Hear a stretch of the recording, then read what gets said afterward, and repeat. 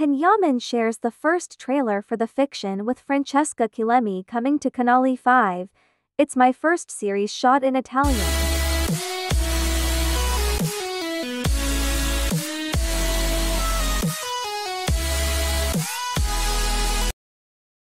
Can Yaman and Francesca Chillemi are about to land in prime time on Canale 5 with the TV series Viola Come Mare. A great success for the Turkish actor, former Diletta who boasts a considerable following in Italy. But the real novelty for him was to be able to act, for the first time, entirely in Italian.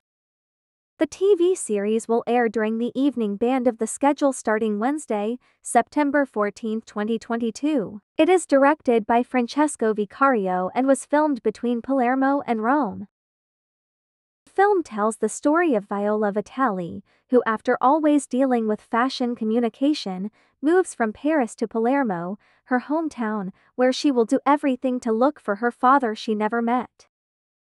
There he began working for a web newsroom as a crime journalist, where he met Inspector Francesco Demir, a man with great investigative talent. The two will work side by side on murder cases.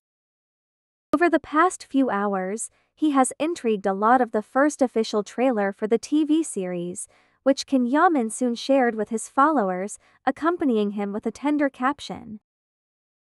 I am happy, almost a year after the first take, to preview the first trailer for our new series Viola Come il Mare. It was a long journey full of emotions and sacrifices, laughter and discontent, commitment and satisfaction, wind, rain, cold, heat and even COVID came to visit us unfortunately. But we made it and finally we have reached this first wonderful goal. The airing of my first series shot entirely in Italian is approaching.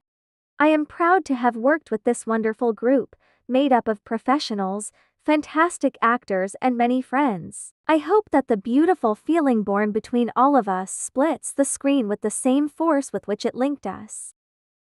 And Come On Viola Come il Mare shows everyone how much emotion we feel and how much love we have dedicated to this series. Dage Viola